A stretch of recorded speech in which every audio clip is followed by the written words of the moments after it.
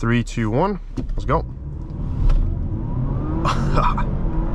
the way it kicks in is just perfection. Look at how this car just sits into the turns.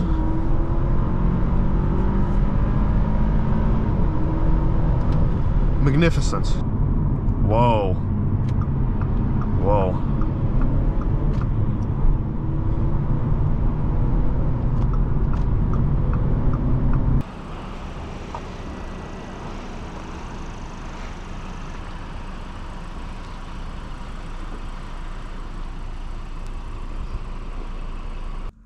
Hello there everyone. Welcome to another episode of DM Car Reviews. Today on our channel we have a 2024 Audi A4 45 TFSI Quattro. I've been driving this car for a few days, so let's fire her up and I will share all the impressions about this car throughout our test drive. But let's go take a look outside.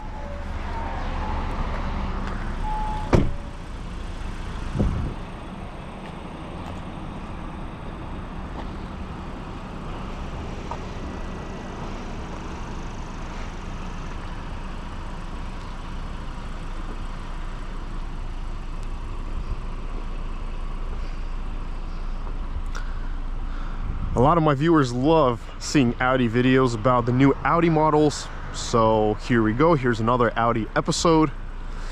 This time it's not an S5, it's an A4.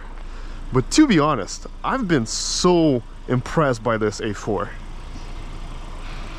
And this is the direct competitor to the BMW 3 Series. In, in our case, that would be a 330i and the Mercedes C300.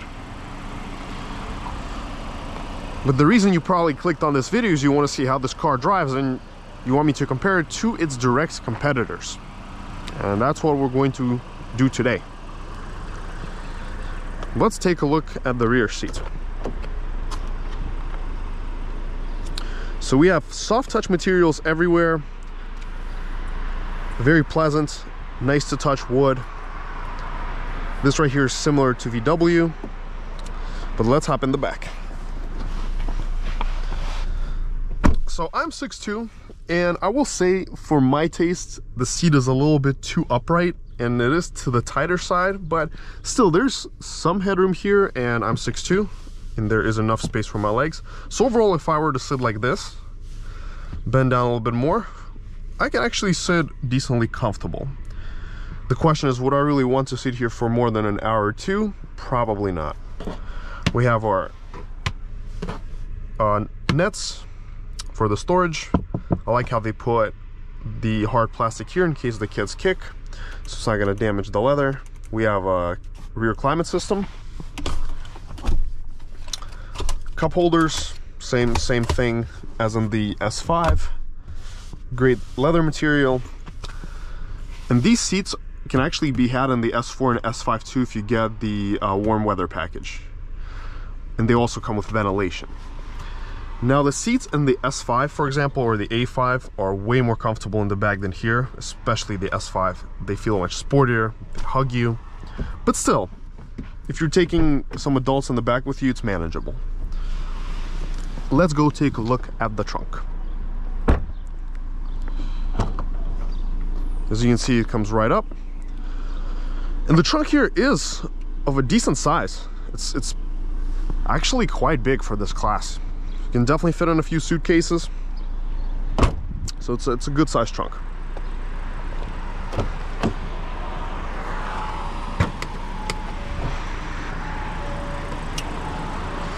Now here, under the hood, you're going to find Audi's famous 2.0T four-cylinder engine. And this is actually a magnificent powertrain. Over the years, it has become very polished, incredibly reliable and it even powers the Q7 and even with this engine the Q7 moves pretty well. So imagine how well this car moves. And the S-Tronic I've been very impressed with it too. The the dual clutch that that Audi has they call it S-Tronic it it pretty much knows what I always want to do. So it's always in the right gear. It, it does what I want it to do the only thing that you have to remember is that you'll have to change the oil and the filter every 40,000 miles per Audi's recommendation.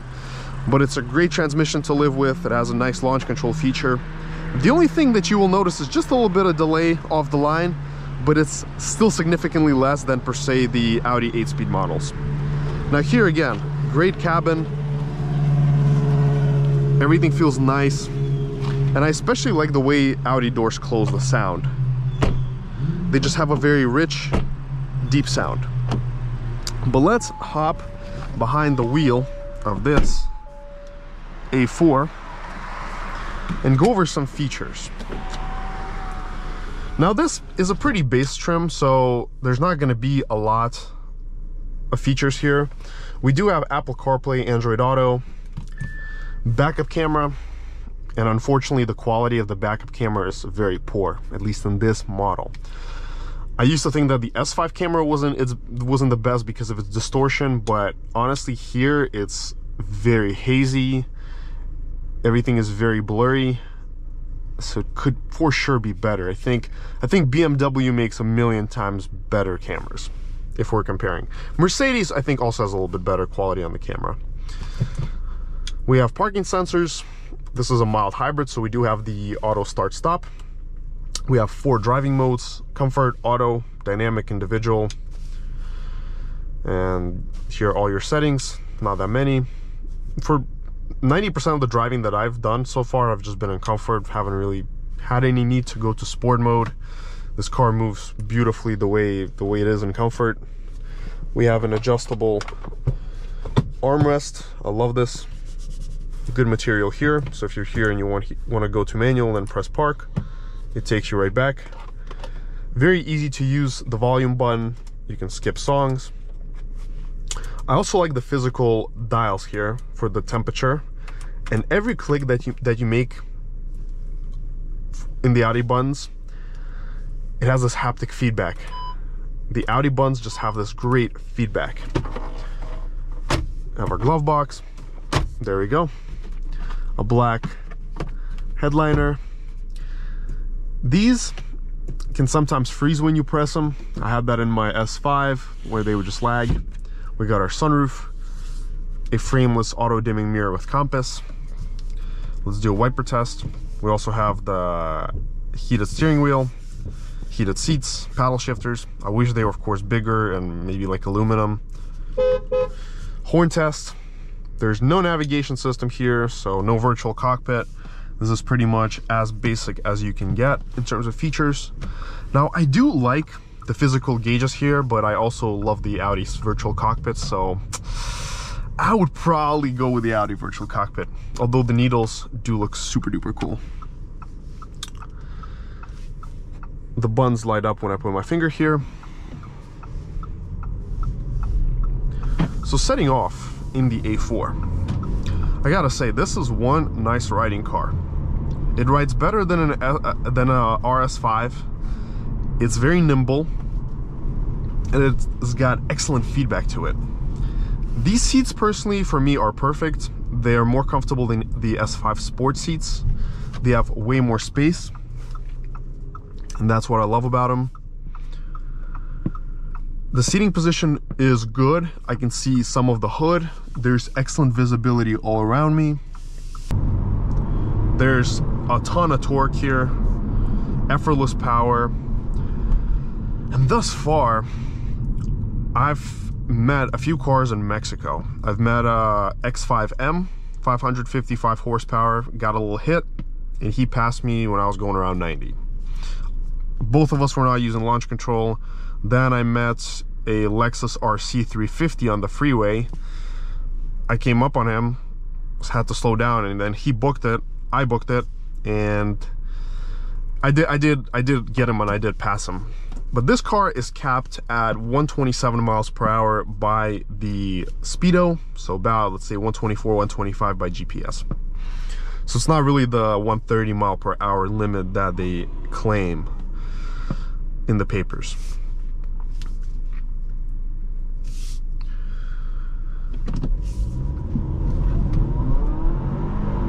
I don't know, it just moves so well. The power is smooth, effortless. And the A4 walks away with authority from 98% of the traffic. The only car that I was not able to really catch was a Camaro SS, the new one, with the 485 horsepower, I think. We were like really close till about 70, and then he started kind of moving away. But still, still wasn't was very good, I think.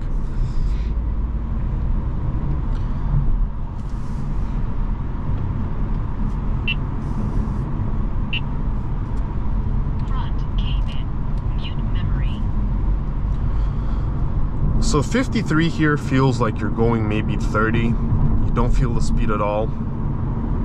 It isolates you from the world. The cabin is hushed quiet in this A4. It's definitely on par with the full-size luxury sedans like the A6, the 5 Series. It is very close and on that same level of refinement. Now the ride here is smooth, it is planted, it does eat bumps well, but it's not the softest. So it's got this healthy balance of sportiness and comfort. Now the A6 rides much smoother. The A6 just has that elegant, very yacht-like ride with a little hint of stiffness, which I just adore.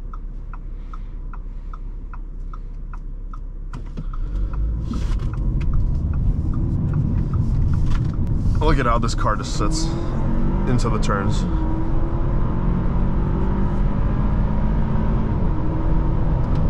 Magnificent. Absolutely magnificent. You can throw this A4 into any any turn and it just sits like a champ. Let's check the speedometer accuracy. We're going to do our 0 to 60 tests as usual no idea how quick this car gets to 60, but I'm definitely thinking around maybe high fives, six.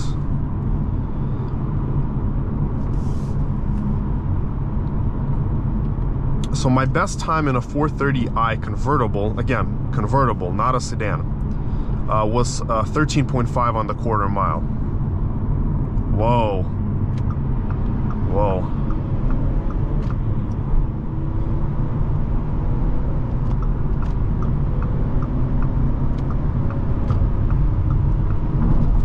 I mean, I'm not even touching the gas here right now. So that's that just goes to show how torquey this car is.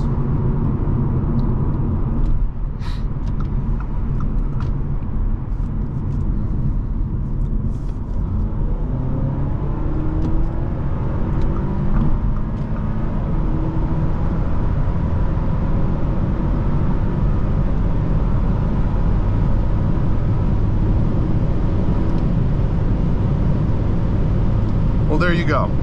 So.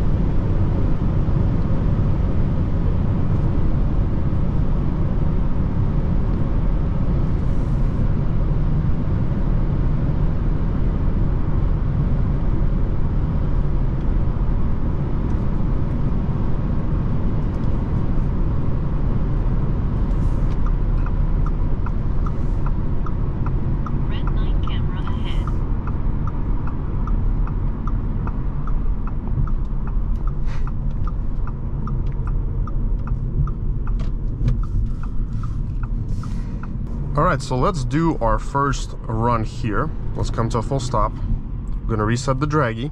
All right, three, two, one, let's go. No launch. Excellent pull. 5.8. Wow. Amazing. Absolutely amazing. So even with a little half percent uphill, we still did a 5.8 with no boost. And by Dragy, we did 5.77 valid. 0 to 100 kilometers an hour came in 6.07 seconds. And the 1 8 mile came at 9.1 at 78.87. And let's see what we... 3, 2, 1. Let's go. the way it kicks in is just perfection. 5.65 seconds to 60.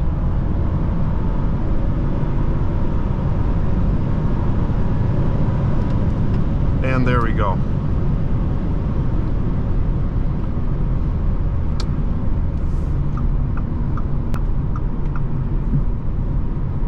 So 5.65 with no launch, which is actually super duper impressive. The uh, non-mild hybrid version was a few ticks slower, a few tenths. It would be usually around six seconds, and this is 5.6. So the mild hybrid definitely plays a good role here. So by Dragy, we did 0 to 60 in 5.58 seconds. Even more optimistic than Racebox. The 1 8th mile came in at 8.95 at 80.92. And the quarter mile came at 13.75 at 103.18 miles an hour. And here we did 103.7. 103 for a regular A4. That's crazy. Actually, I have a feeling we could maybe do a low 13s on this car. But let's let's come back and try one more time. So here's the run that you have all been waiting for. I disabled, um, well, I turned off the AC and I disabled the traction. So it's, uh, the traction is set to sport. We're gonna reset the Dragy. Race box is also reset. We just want, I just want to let the traffic through a bit and we're going to launch this A4 and see how she does. All right, let's go. oh, wow. This is crazy.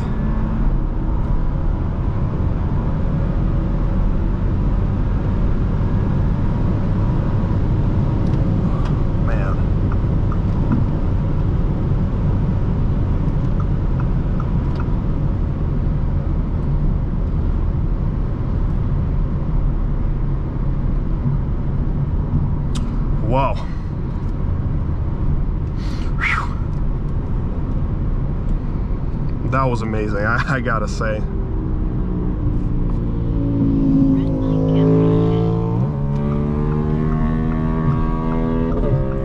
Well, let's see our times. So we did, by Racebox, we did 0 to 60 in 5.14 seconds and the quarter mile 13.66 and the 100 to 160 kilometers an hour in 7.07 that figure hasn't changed. We trapped again 103.5 same trap speed nothing changed. And here by Dragy we did 0 to 60 in 5.09 seconds with a one foot rollout that would be 4.8 4.82 one eighth mile came at 8.67 at 81.74 and the quarter mile came in at 13.45 at 102.81. So as you can see, our trap speed actually got worse. And this is the thing with a lot of Audis, that their, their stock intercoolers are just not the strongest. So after a couple of runs, you can see how time just starts to, well, not time, like the trap speed just starts to degrade and the time gets worse. I've watched a couple of drag races that Sam CarLegion posted where he raced a regular 330i with an A4 like this and the A4 just like walked. Well, not walked, but like got away from the 330i really quickly. I'm gonna call cap on that because when I tested the 330i xDrive, I also got a, a 13.5 and my trap speed was about like 101.5, 102. So it was very close. There's no way that if both cars are stock, one is just gonna walk away from the other car. It's not happening and BMW's intercooler is much stronger. So with BMW, you can do like five runs in a row and the car is still gonna show very consistent results. The handling here is light, but it is great and direct. You can still feel exactly what you're doing. Uh, let's come here to the turn. Sits on the road great. It's very hard to describe the g-forces that you feel when you take a turn fast because the camera just doesn't do justice for that. But look at how nicely it sits into the turn.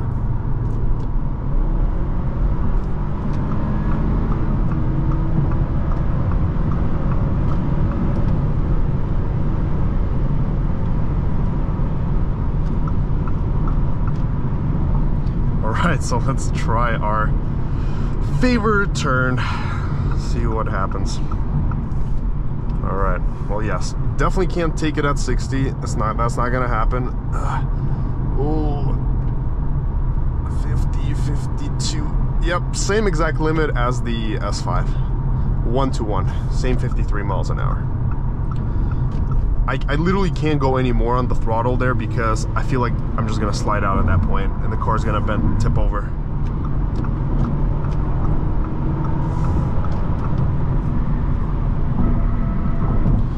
So from what you've seen on the performance numbers, I mean, there's nothing to mention here in terms of passing power. It's it's so good. Just so much power. As I've mentioned earlier in this video, I haven't even had the need to use sport. I just I just stick it in comfort and that's that's it. It does everything. At 85, 84, the RPMs are below 2000, so that does ensure that you have really good fuel economy and, well, today's trip hasn't been very efficient, but my average on the trip was like 33, 34.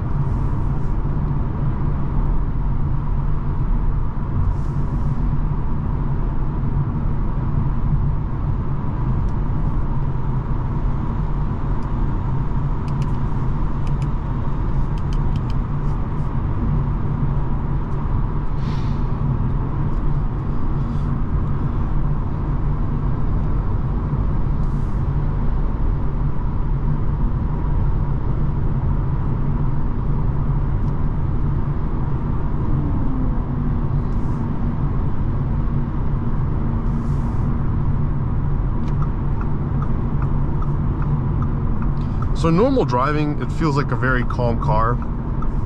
It doesn't want you to go race anywhere. It's just very nice and zippy. It's not provoking.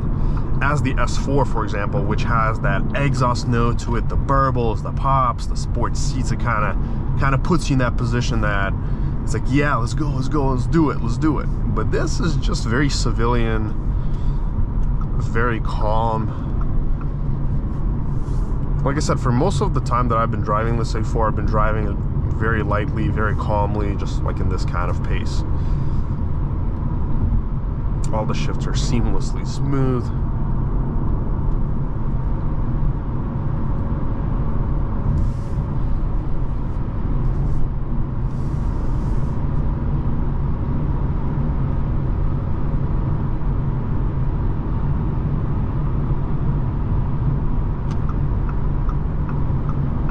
It also has the adaptive cruise control, which works beautifully. Keeps distance, keeps you in the lane. So far, I've, I've been absolutely loving it. Well, this wraps up our test drive for today. I want to say thank you to everyone who watched this video. Please let me know your thoughts in the comments down below. Would you get this or the 3 Series or the C-Class? Like I said, I've really loved this A4. It's a definitely recommend car to get. Absolutely amazing experience. But make sure to smash that like and subscribe button. And till next time.